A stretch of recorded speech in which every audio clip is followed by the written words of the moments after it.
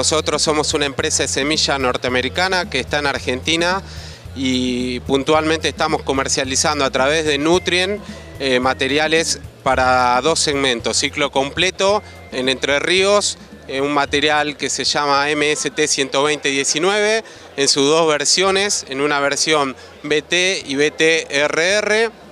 ambos tolerantes al glufosinato de amonio para siembras tempranas en toda la zona de Entre Ríos, desde el norte de Paraná hacia el sur, Villaguay, Gualeguay, eh, toda en esa zona en siembras tempranas. Y a su vez estamos también con un segmento de ciclos precoces que son Viptera 3, que nos dan la posibilidad, sobre todo para Entre Ríos, por el tema de plagas, ya sea para Espodóptera o Licoverpa, nos cubre la tecnología Viptera, ha sido una de las tecnologías más que más repercusión tuvo en la zona de Entre Ríos en siembras tardías. Como les dije, estamos comercializando nuestros materiales con Nutrien y eh, en Entre Ríos ya venimos por tercer campaña con esos dos segmentos, en ciclos completos eh, para siembras tempranas y ciclos precoces tardío de segunda.